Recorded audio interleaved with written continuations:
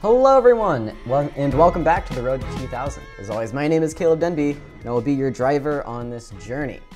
Uh, sorry about the brief delay getting started here tonight. We had some tech issues, but we're up and running now, uh, and I'm glad that we are, because it's going to be a very fun lecture. So uh, if you come to the chess club often, you might have run into someone by the name of Jacob Sanders, who likes to play the Grob quite a bit.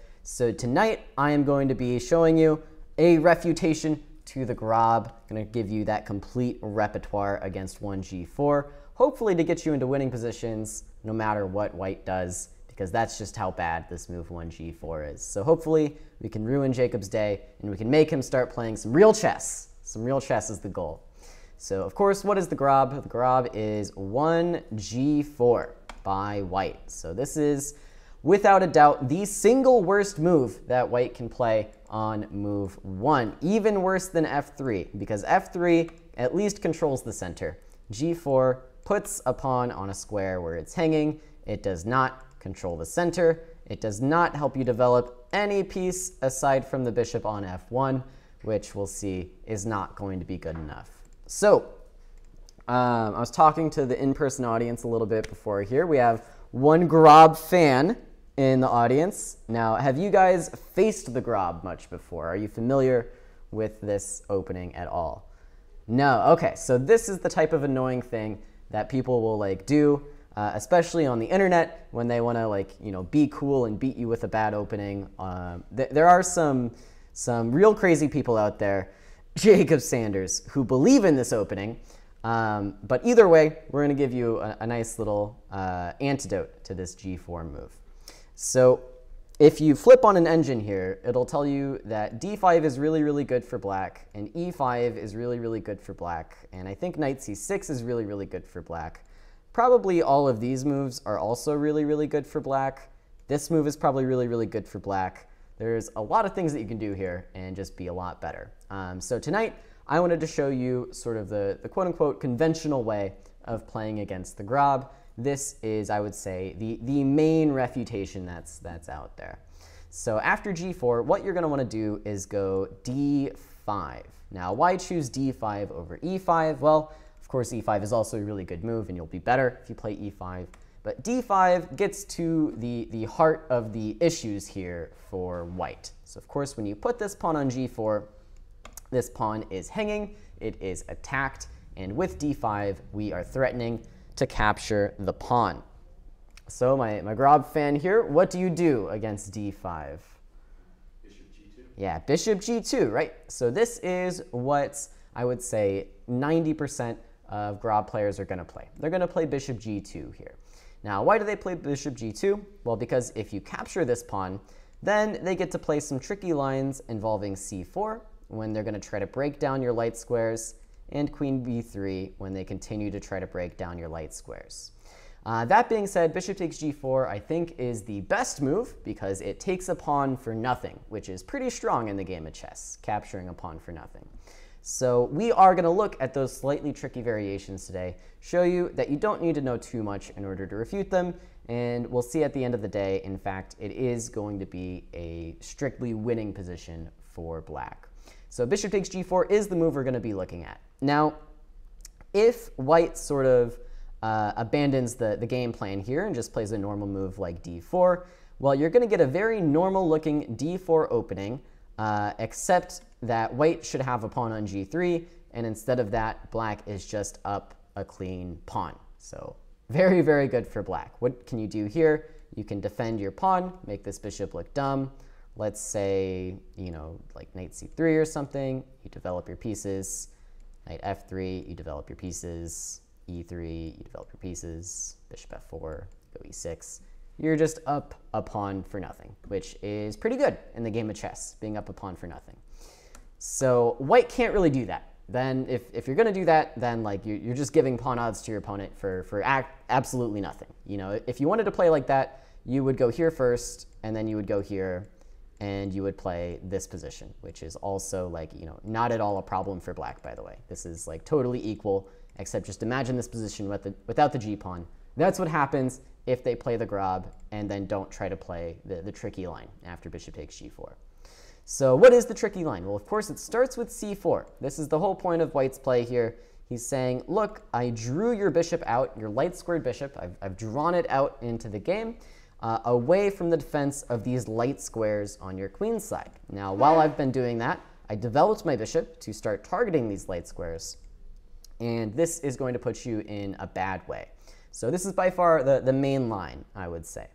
So what's a very natural response to this move c4? What would you look at here with the black pieces? Take it. Ta okay, taking it would be ambitious. There is are there are some issues here that you have to look out for. Although I think I would argue that even here, black might be better. Um, you can give up a full exchange, and I think if you ask the computer, it's going to say, yeah, black is black is better. Um, so you can't you can take the pawn, but even more natural than that, you know, we don't want to give up our rook. Let's say rooks are valuable. C6. Yeah, I would say c6 is the most natural move, right? You're, you're looking at this bishop on g2. You don't want to see it land on b7. Why not play the move c6, try and defend your pawn, keep this bishop out of the game. Uh, so what is white going to do against that? Well, we're going to see that there's two main variations to look at, and that's really all, all that's going on here. So I want to start with this move c takes d5, followed by queen b3. At first glance, this attacks two pawns at the same time. Scary stuff. Uh, how are we going to deal with it? I don't know. Uh, but before we look, just to tell you, next we're going to look at this move queen b3 without taking on d5. It is actually going to change a few things, and, and we'll see why uh, in, in the next variations. But first, we're sticking with this. Takes, takes, queen b3.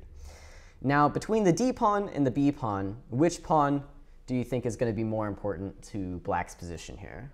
D. Yeah, definitely the d pawn, right? It's keeping this bishop out of the game. It's controlling the center. This is going to be the pawn that we want to keep.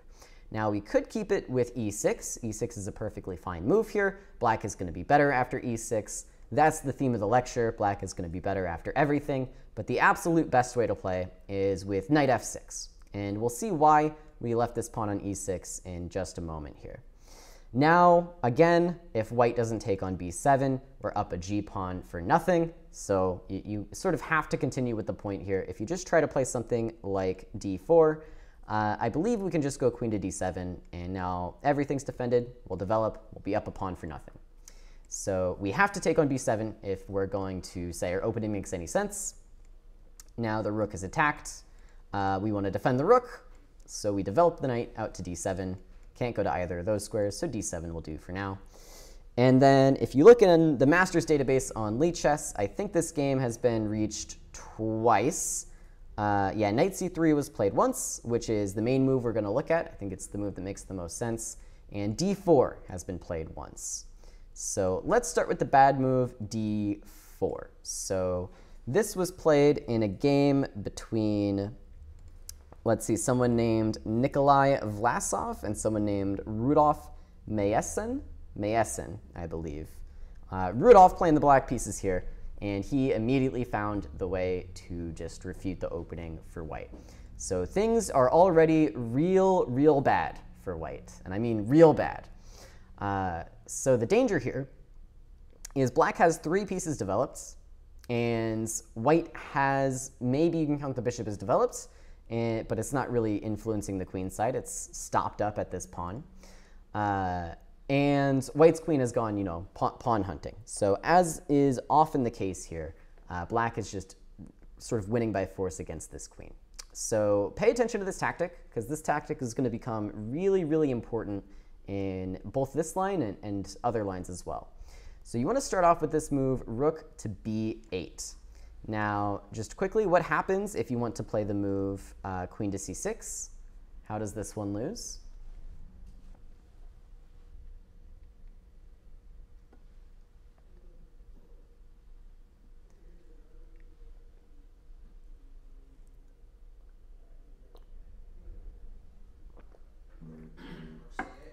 Yep, simply rook c8.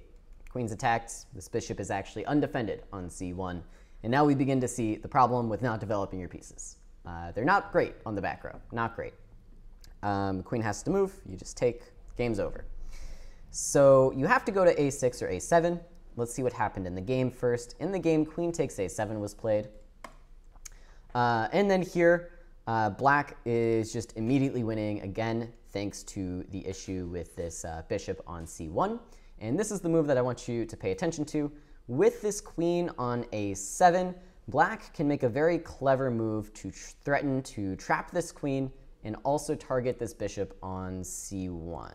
So let's see if you guys have the move here. How can we threaten to trap the queen and also target this bishop? Queen c8. Yep, simply queen to c8. Of course, hitting the bishop with the threat of checkmate. And what's our second threat? Rook a8. Yeah, rook to a8. This queen has no squares. So white is going to try to solve both problems at the same time, bishop f4. Now if we play rook to a8, of course, white will play uh, queen to c7. And still be much worse probably, but you know, won't be losing a queen. So what's the, uh, what's the finishing blow here? e5. Yeah. e5 is going to attack this bishop, cut it off from the c7 square, and maintain our threat of rook to a8. So now if bishop e5, for example, trying to renew the defense, Checkmate. yeah, checkmate is good. checkmate is good. Um, this also doesn't even work because we can, no, we can't do this. We do have to play checkmate, but checkmate is good. So e5, and white is in a very, very bad way, and this is actually, I believe, how this game continued. D takes e5 was white's choice in the game. Um, this does actually give the white queen a square. So rook to a8, bishop queen to e3 is going to be, you know, not immediately losing material for white. But black found this nice finishing tactic. It's a little two mover here. Bishop c5. No squares for the queen aside from one, so it moves to the square. And then, of course, rook to b4 attacks two things at the same time. Queen to c2 is one of the only safe squares for the queen. Um, now rook takes f4, taking a piece. White takes on f6 to try and you know keep keep the number of pieces the same. But now we take f2, and things things are bad. Things are bad. King d1, rook d4, knight d2, castles, and this game does not last much longer. Uh, bishop takes on g1. Why doesn't white recapture this? I think uh, some something to do with this is probably why, and it's it's just over. It's just over for white. It's just over. Um, yeah. We can we can see the rest of the moves, but uh, white went ahead and resigned here because all of the pieces are hanging. Takes and takes will be played next. So, not too bad.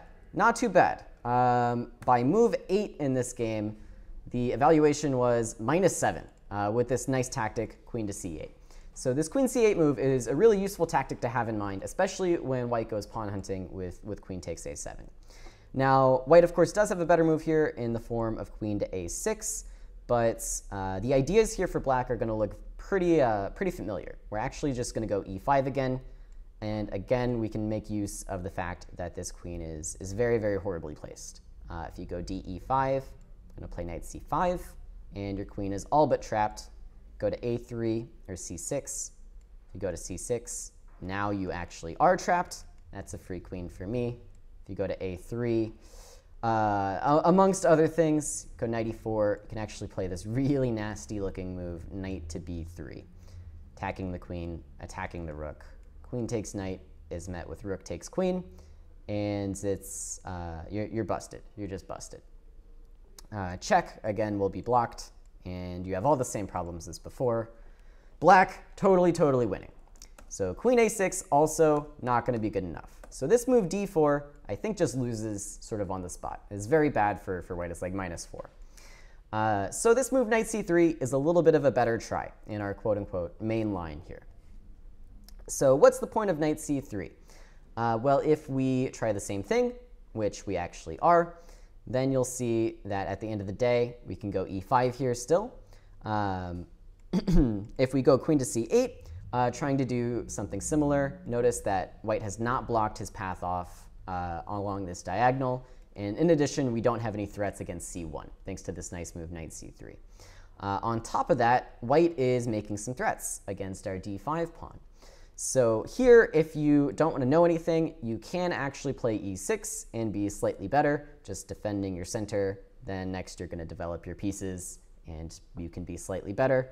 But we want to win. We want to refute the Grob. And so we're going to go e5 here, just uh, trying to take over the center completely. And this is going to put whites in, in a very tough spot. So if you don't take on d5 here, then again, sort of what are you doing with your pieces? I'm just going to continue with bishop to c5. And you again will, will have uh, a, a, very, very bad position. So knight takes d5 is the only move that really makes sense. Uh, we can take that guy. Bishop takes d5. Now the point of e5 is to come out with bishop c5. And we have all our pieces in the game, basically, while white is still, still struggling. So queen to a4 does attack our bishop. Don't hang that guy. So we'll come back. Now after knight to f3, we can actually castle here. And castles makes a threat. So what happens if white castles? What was black's threat with the move uh, kingside castles?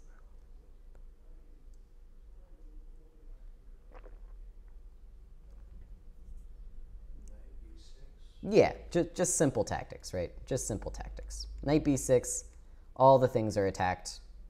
I'll take your guy. Nothing you can do about it.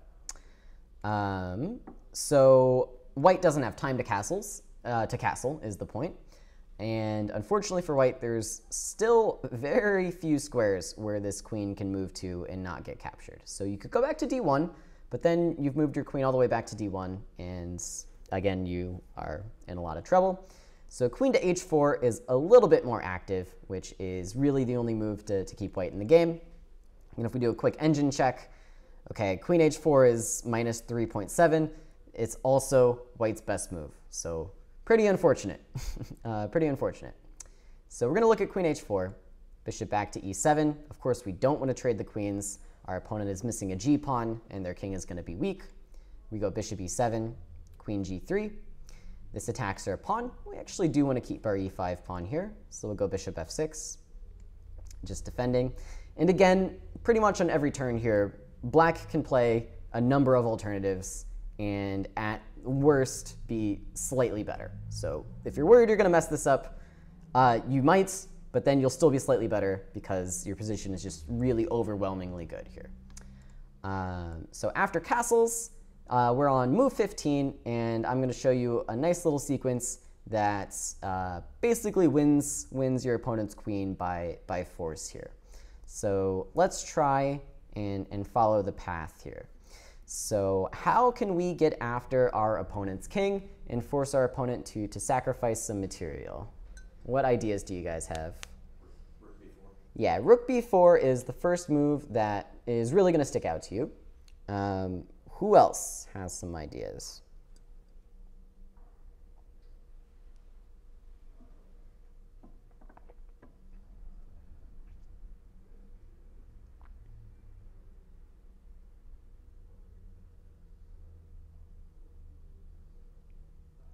Any other ideas? Is there something with e4? Yeah, e4 also looks very, very nasty. And uh, yeah, so far you guys are the best. I think both those moves win. uh, it's not the move I'm going to recommend, though. The move that I, am going to recommend is very forcing, and it gets you there very quickly. Um, well, actually, not too quickly, but it's forcing so that ev every move sort of comes naturally. Um, there's one more path we could take that on the surface looks like it might be a little bit of a slower way to, to come after your opponent. h5. Yeah, okay, we could go h5. Um, I'm not so concerned. So h5 is kind of a funny move. Um, in general, when your opponent has a pawn on g2 or g3, h5 is a really great idea because you can go h5, h4, and then maybe someday you get to take your opponent's g-pawn, and then they won't have a g-pawn anymore. Uh, in this case, we already took our opponent's g-pawn, which is why they're dead lost. So h5 doesn't actually make quite as much sense here because we already sort of achieved the, the point of h5 without having to do it. And this is why the Grob is a bad opening. Um, the idea I'm fishing for is to actually sort of just weasel our rook over here along this sixth rank. And this turns out, I think, to be the simplest way to, to win the game. So I think the computer is going to say that uh, rook b4, no, it's going to say that e4 is the best of these options. Just to give you a little taste of what this looks like, e4, um, this is horrendous for white. Going back to e1, we're just going to come out like this and this, and the game is over. So white has to go for this little tactic here. And then I think the engine wants to take on f3, take on e2, and uh, basically just, just win this position. I think you can go rook e8 and you go this way. It looks, looks very, very strong.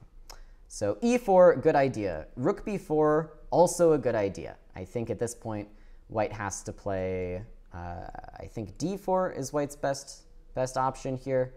And again, things are going to get a little bit, a little bit tough for, for white. Maybe I'm misremembering. What is, what is white's best option after this one? Yeah, go d4, yeah, I had it all right. And then a3. And then that momentarily displaces my rook. Black is still going to be better, but it's actually not quite so easy to get this rook uh, to, to swing across here with this sort of clogged up center and white's control over the g5 square still. So I like this move, knight c5, that the engine is uh, not saying is the, the top move, but, but one of the top moves. Um, and I like it because, again, it's very, very forcing. And now black is going to win in the same way against pretty much everything. If you try the move e4, I'm just going to take it. And now you have nothing defending any of the light squares around your king.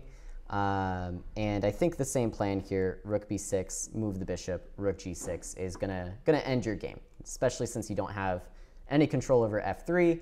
My bishop can retreat, be on the long diagonal. I'm gonna win. So that is to say, white is basically forced to retreat this bishop. And the good news is it doesn't really matter where he goes. We're going to do the same thing. We're going to jump in with knight e4, misplace this, uh, this queen for white a little bit more, uh, put it back on g2. Now we're going to play queen to c8 with a very uh, simple idea. We want to go bishop h3, force queen h1, maybe even take a rook, but maybe not take a rook, maybe just leave our bishop there. Um, white really only has one choice against this. White needs to try this move, knight to e1. The point being, if you do this, I can take your knight. So knight e1, the point is to give this queen uh, a square to breathe on. Um, if you don't play knight e1, if you play something like rook d1, rook e1, for example, I will go bishop h3. And now after queen to h1, like you, you, you might as well might as well resign. I think rook b4 works here. I think rook b6 also. Oh, queen g4 is mate in 2. Good call. Good call. Um, so yeah, you, you, absolutely have to play knight e1. Um, so now knight e1 has successfully stopped our idea of bishop h3. But not to worry. Now we are just going to go rook b6. And moving the bishop out of the way pretty much to any square in rook g6 is simply unstoppable. You just you, you cannot stop this idea. Uh, just an example line d3 apparently is best. I'll move. And then here I get to throw in a nice little idea of bishop h3 first, uh, I think. And queen g3, rook g6. I won your queen. If you go this way, check. I'll take your rook first, and then uh, I'll go on to win your queen later, probably. Probably you're still going to end up losing your queen here, unfortunately. Um, so this is how it works. This is how you win the queen. There's just nothing you can really do. Uh, knight to g2, for example. Take the queen, hg3, and now you go queen g4. And after bishop d5, I decided to call it quits on showing any moves, because black is just very, very clearly winning here. Uh, you have a queen for a knight and a rook.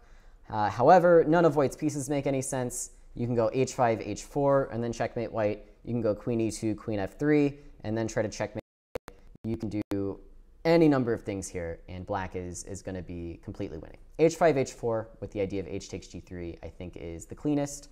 But again, there's, there's a lot of ways to win the game from this point. So that is my refutation to sort of the main line of the Grob. That, that's what it's all about. So let's take it from the top here, see if you guys can, can call out the moves as we go. g4, what move are we going to play? Yeah, d5, straight to the point, your pawn is attacked. Uh, bishop g2. Now what do we do? Yeah, your opponent hung a pawn. Might as well take it. Um, c4, our opponent wants to come after us. What's the most natural idea? c6, we want to cut off the bishop and defend our light squares.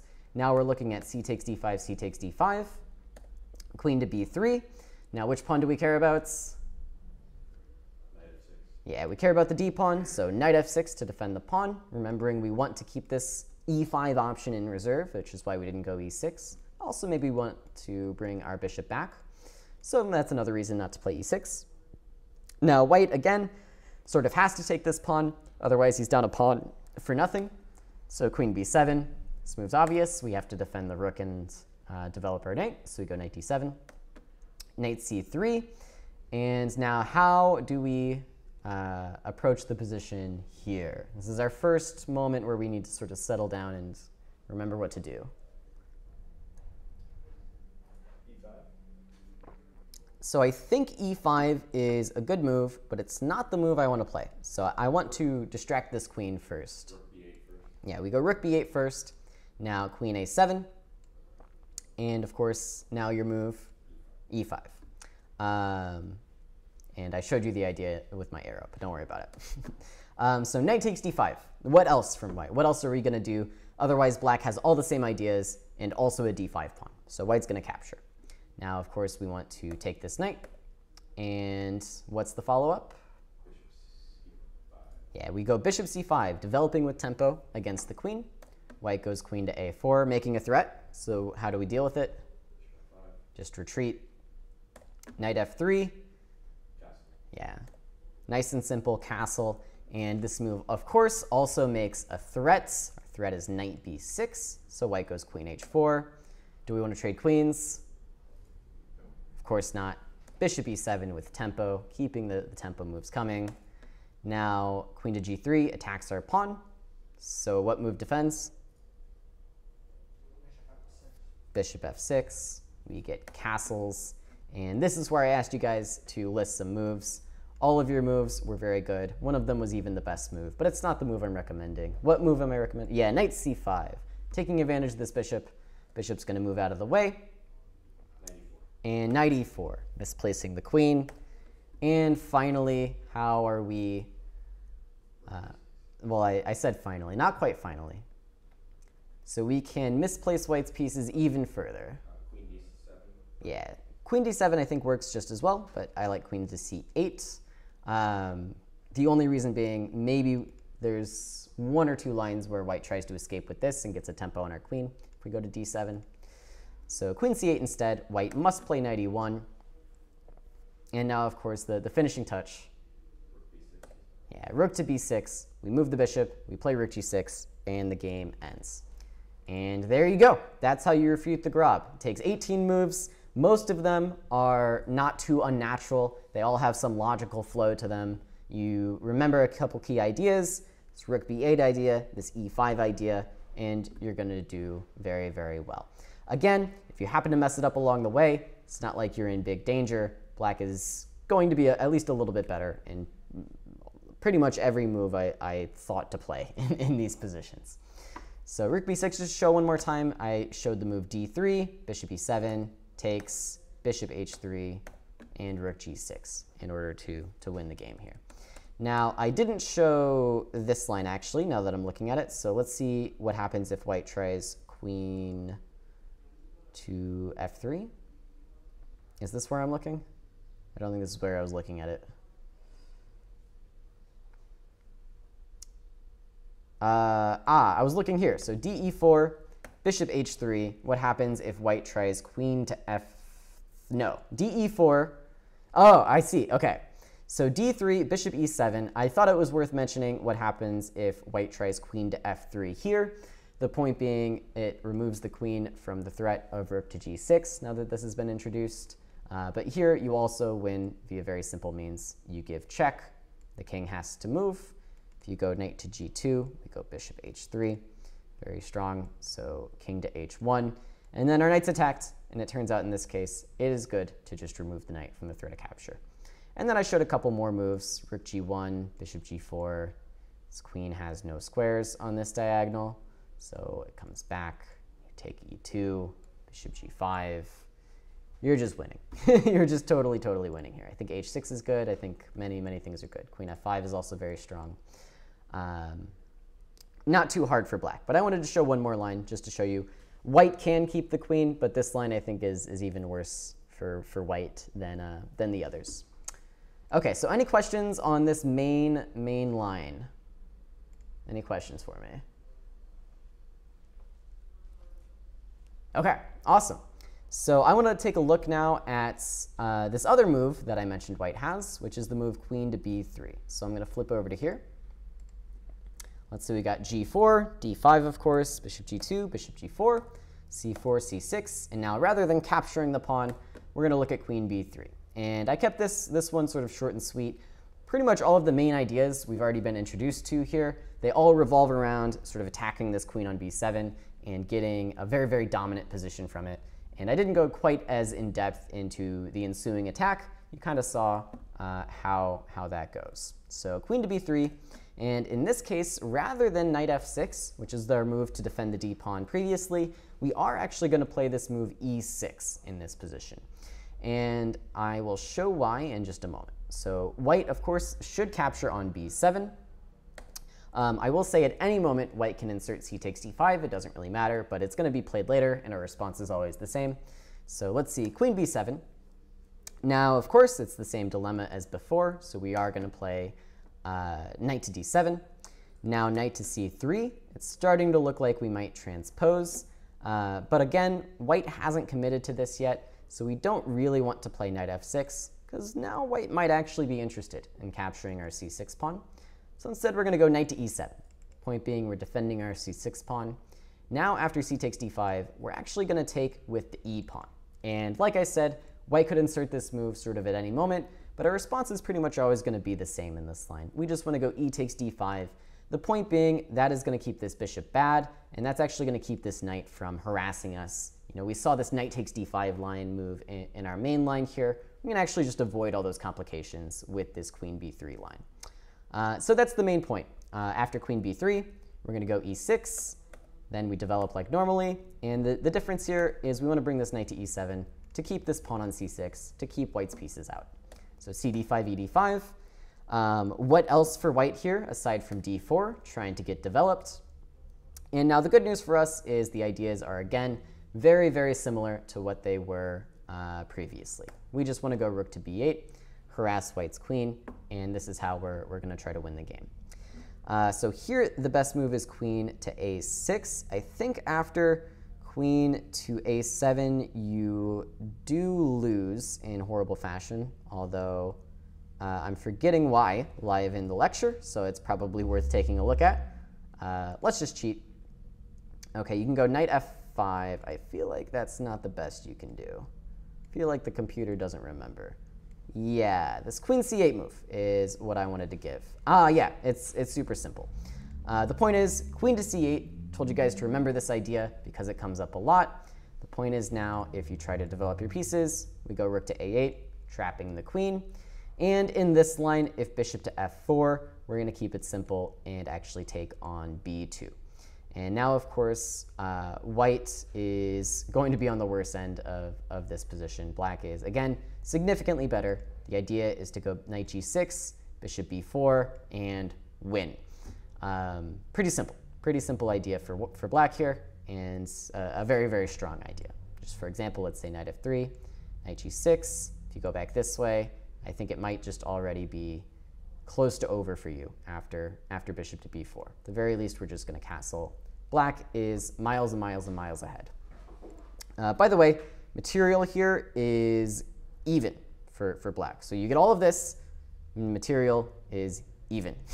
White has, you know, no, nothing to show for it. Okay, so that is the line after queen a7. Uh, the main move I wanted to look at is queen a6. It puts up a little bit more resistance. Uh, and here, we're just going to go with rook to b6, forcing white to continue the, the track backwards. I think now after queen a7, we can transpose with this line. Uh, rook to a6, just as strong of a threat as rook to a8. So bishop f4, and we end up in the same spot. So rook to b6, if white doesn't want to play that, um, they're going to go back to d3. And now we just develop very simply. We go knight g6, h3, we bring the bishop back, knight f3, we to develop our bishop out to d6, h4, castles. Black has completed harmonious development. White's king is in the center because it makes very little sense to castle after you don't have a G pawn. And white, again, has no plan, no real ideas, uh, and, and black is just very, very much significantly better. Um, just to show you, h5 looks like it makes a threat. Now, thanks to the lack of a g3 pawn, we just plant our knight onto f4. And for example, takes, takes, e3, bishop back. Uh, this is where I decided to stop playing moves because white is just positionally posi positionally getting destroyed here. You know, two, two bishops, this bishop's a monster, this file is really good for black, and white has no attack. There's nothing going on here. So again, we sped through this queen b3 line a little bit more quickly, but that's because the ideas are, are, largely the same, and you just end up in, in this monster position. Unfortunately, no, I didn't continue this out until we won a queen by force, but this position's still pretty good. Uh, so, so questions on this, because I did go a lot faster here, and then we'll do that quick little review again, just to, to get it in your mind. Questions here? Okay. Oh, and hello to Show in the chat, who uh, one of his games made an appearance in, in an earlier lecture for me. Uh, and yeah, he is uh, correct in saying the trick to facing the Grobmore is to play the right opponents. um, and that's why this lecture is a call out of Jacob Sanders. Okay, let's take it from the top then. g4, of course, we go d5, bishop g2. We want to snag that pawn. C4, we're going to play c6, stunting the bishop. Queen b3, e6. Uh, again, we're not going knight f6 in this case because white has not yet committed to this capture. So we're more interested in keeping our c6 pawn in these lines. Now we're looking at queen b7, knight d7, knight c3, and now we want to go knight e7 defending our pawn. cd5, of course we want ed5 in this case. Point being we want to keep this knight out and keep this bishop bad. Now d4 uh, is the best developing move for white, and we just follow it up with rook b8, queen a6, rook b6, and now we just finish our development very naturally, castle, and go knight f4, and white is in big, big trouble. There's the moves. Take, take, e3, back, white resigns. Easy peasy. Um, okay, so aside from that, there's one line that I think I did want to mention that I didn't have time to import. So after knight to c3, we are defending our c6 pawn with knight e7, but for one turn only, white can capture here. Of course, though, this is not going to be a very good idea. We're just going to go rook c8 and rook c4 and knight f6. And in this position, um, again, material is even and black controls the center. Black has easy development and is way ahead in development, and white has a bishop on c1 and a knight on g1 and a king on e1 and no, no g pawn. So black, again, just, just close to winning very, very simply in this line. Um, so, okay, once more, any questions here? Okay, easy peasy then. So with that, I think that you guys have enough information to beat 90% of all Grob players. Most Grob players, they don't play the Grob to play h3 or e3 or some other nonsense after d5. They're, they're playing the Grob to go bishop g2 and c4 and hope you're not prepared. Um, but now you guys are, so you can just win by force against 90% of Grob players. Uh, now with that, I want to go into uh, what I call H3, uh, the sad lines, because they are very, very sad for, for white. So uh, Jacob actually has a book called The Killer Grob, which is kind of a funny book because it recommends G4, and against D5, it, it recommends H3. so not very true to the spirit of the opening, I would say, uh, is the, the Killer Grob book, because H3 is not very killer, it's very sad. Um, just for example here, imagine that you were forced, like someone forced you to play the move 1h3 on turn 1, and your opponent responded with d5. Uh, think of how many other moves you would want to play before you, you wanted to play the move g4. Like d4 is a better move, d3, e3, knight f3 is a better move, c4 is a better move, c3 is a better move, b3 is a better move, g3 is a better move. So it's sort of playing one bad move, then your opponent strikes in the center, and just to avoid losing a pawn, you play a second bad move. So now white is basically down two full tempi because h3, g4 are nonsense moves that don't help the position, and d5, now second move, you guessed it, e5 are two great moves that control the center and give black a huge advantage. Uh, so that's why these h3 lines are just very, very sad, sad for white. Um, bishop g2 to follow up. And here, again, you can do anything you want. You can go knight e7. I think you can go knight f6, bishop e6, c6, um, probably bishop e7 or c5, but I, I, don't know about all of those. Most of those, I'm sure, give black a, a very easy advantage. c6, notably, is, again, a very logical move and a very good move, similar to our other lines. But here I'm actually going to recommend the move knight to c6, just because it gets ourselves developed a little bit faster, puts the pressure on white a, a little bit more quickly. Now knight to c3 does attack our pawn, and here I like this move, knight g to e7. Now, why would I want to be putting my knight on e7 against a pawn on g4? What do you think the long-term idea is against this? So there's sort of two things to look out for. I mean, f4 would be an awesome outpost. Yeah, exactly. So by moving this pawn to g4, you have permanently weakened your f4 square. And so maybe one day I'll want to go knight g6 to f4, maybe even knight g6 to h4, to be honest, depending on what happens. Um, and aside from that, there's one more big idea, which uh, is a very useful one to know. You can with f5. So f5 is sort of almost justifying g4 in my opinion. So I'm not going to lie to you and say that black is going to be worse after f5 because it's very, very difficult to do against the Grob. But uh, you're on the right track, but not with f5. How do we want to attack this, this pawn? It's just a better, a better version of f5, basically. h5. Yeah, you just go h5. Um, so after e3, that is actually the move that I recommend here. We just go h5. Now, uh, because our knight isn't on f6, our opponent can't play g5 with tempo. Uh, and so they, they still probably need to play g5 because this is actually very, very bad for white if you allow takes and takes because we simply get to the king side first. So if you go g5, now my knight makes a lot more sense because I have easy access to these squares. Now I don't know which one I'm going to choose yet, but better than F on f6 for sure. Uh, now development's still very easy for black. Go bishop e6 over defending our pawn, freeing up our knight a little bit. Now d4, and here we're just going to shore up our center with f6. Uh, now just as an example line, uh, really you can stop here. Black's play is going to be easy. Pretty much against everything, you want to go queen d7, queenside castles, pick a square for your knight, develop your bishop somewhere, and you're, you're going to be much, much, much better. Uh, but as my example line, I wanted to show gf6, gf6, queen e2, queen d7, uh, de5, fe5, for example, bishop d2, castles, castles, and I, I went ahead and stopped here um, because I think it is, again, already like minus, minus 4 or, or something really, really crazy. Um, you can play knight f5 here, looking at these weak squares, looking at d4. You can play rook g8 here, hitting this bishop. You can play e4 here, opening up this diagonal, shutting down this bishop. You can do many, many things and be much, much, much better. So our goal of the opening has been achieved. Uh, we got like a minus 4 position uh, against the Grob. And thus, these are, in fact, the sad lines. So one more time, how did we get here? g4, d5. Uh, instead of bishop g2, white decided to grovel with h3, defending the pawn. Now we just take over the center very quickly with e5, knight c6.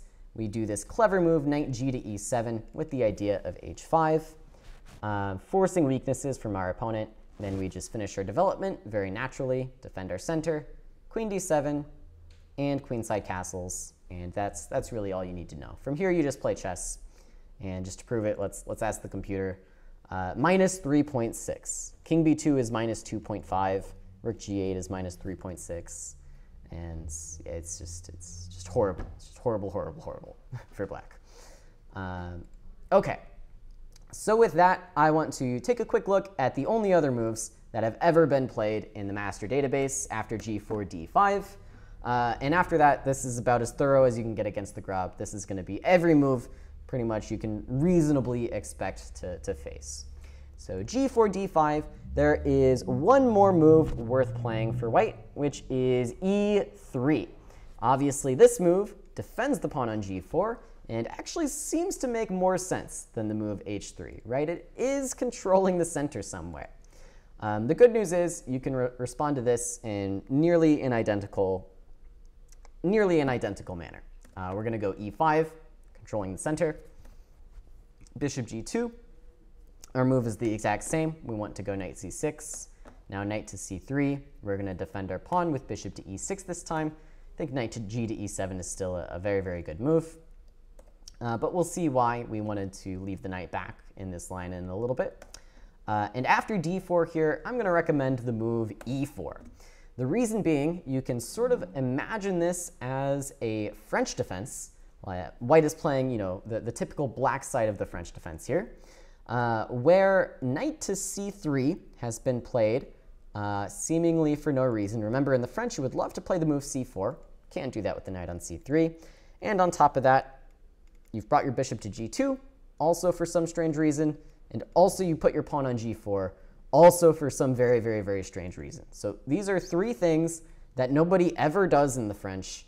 And here, white has done all of them, which is why he has a borderline losing position. Um, just to show you the, the main line here, queen to e2, we go bishop e7, h3, h5. And the reason we left our knight on g8 is because in this line, White has opened up the queen's path to the g pawn, which makes g takes h5 a very reasonable move here. We obviously can't recapture, but now our knight is going to come in to save the day with knight to f6. So that's why we wanted the knight on g8 rather than e7, so we could come to f6 after this line and recapture our pawn on h5. Now I did put in some more moves here, just uh, you want to do the same thing as last time basically, move your queen up in castle, d7 and d6 are both great squares, h4, castles, knight b5, for example, you just retreat.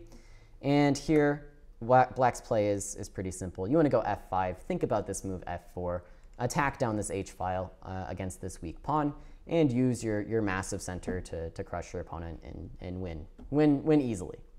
And so that is this move e3. I think I put in a few more moves, knight e2, a6, king b8, f3, and, and here again, there's any number of moves that, that you can play with with black, uh, in, including nothing. And you will be doing very, very, very well in this position. Okay, so any questions on that move e3? Okay, one more time, how we got here. White plays e3, defending the pawn. We take over the center, same as last time. Knight c6, same as last time. Bishop e6 in this case. And against d4, we are closing the position, forcing white to play a horrible, horrible French. Now after queen e2, our idea is to target this h5 pawn like this, making use of our knight on g8. become f6 to h5, and then we want a queenside castle, and expand on the king's side with f5. There you go. All right, there's one more final move I want to take a look at with the last few remaining minutes, and that is g4, d5, g5. Um, so are you familiar with this move? Yes. Do you play this move? Sometimes. Sometimes. Okay. So G5 is the last one I want to take a look at. Um, I believe um, a, a, second Jacob in the chess club, uh, Jacob Wilkins, uh, has been quoted to me as saying, you know, I, I don't like playing the, the Grob, but if I've been forced to play the Grob, I would play 2G5. Uh, so there you go. Jacob Wilkins' seal of approval, this move G5, uh, kind of. So it shouldn't be too hard to, to guess what we want to do against this move. Um, we want to control the center and somehow target, target this pawn. Um, so wait a second. I actually kept both lines in here. Okay. I think the one that I, I wanted to recommend is this move e5. You know, same as last time. We are staying consistent. Want to go e5 and control the center. Now, white in this case his idea might be to strike back directly in the center with d4, trying to do something like e3, control the center, and defend the pawn with d4. Uh, unfortunately here, you are going to end up in a pretty bad way after e takes d4. Um, for example, what happens if queen takes d4? Uh, I believe here we can do any number of things, but uh, I'm going to go ahead and say that c5 is, is just very, very strong. We're just going to develop our pieces. Check me. I'm going to go here. Go knight c6, bishop f5. I own the center. I am not down any pawns. You have a pawn on g5 for no reason at all, and black is much better. So white's best attempt is to try to take this pawn back with a knight, but now we're just going to go c5. And after c3, we simply go dc3, and now knight c3. And here, I just want to recommend the move d4, just to keep everything solid. Of course, this was under threat. So we go d4, white moves out of the way, and now we just finish our development very easily with bishop g2, or sorry, with knight c6. And then finally, the uh, point where I chose to stop here is the point where we finally do something about this g5 pawn.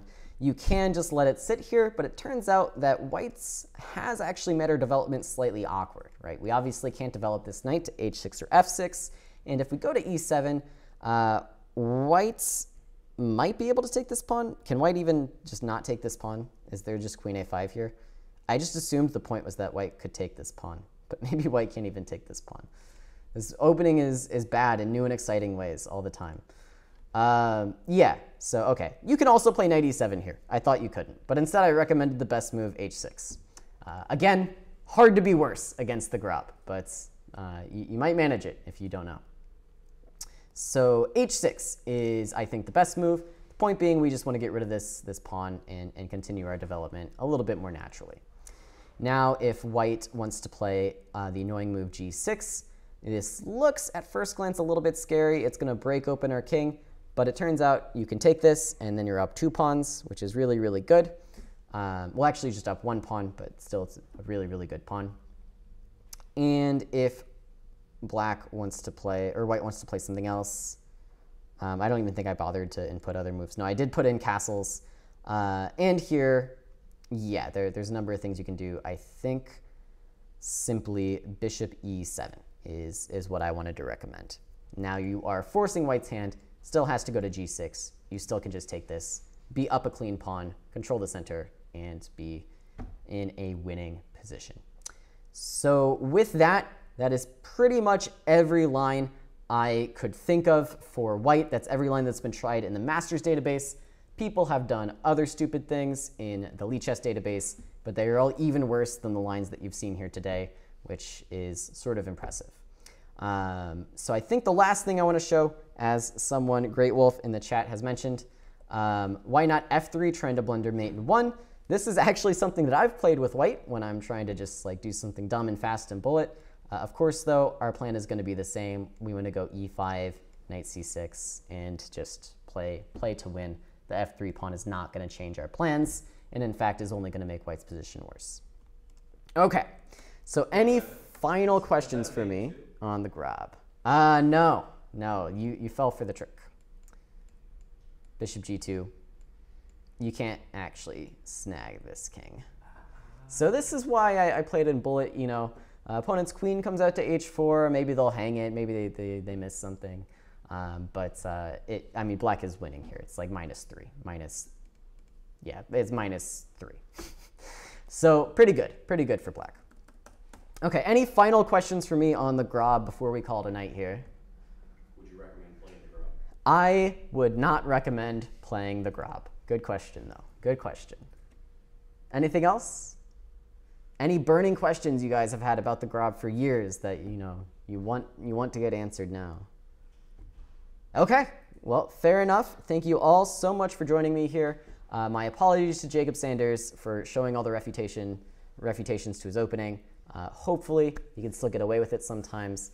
But if you are a kid in St. Louis and Jacob's beating you up with the Grob, now, now, you know, come watch this video. This is this is what they need.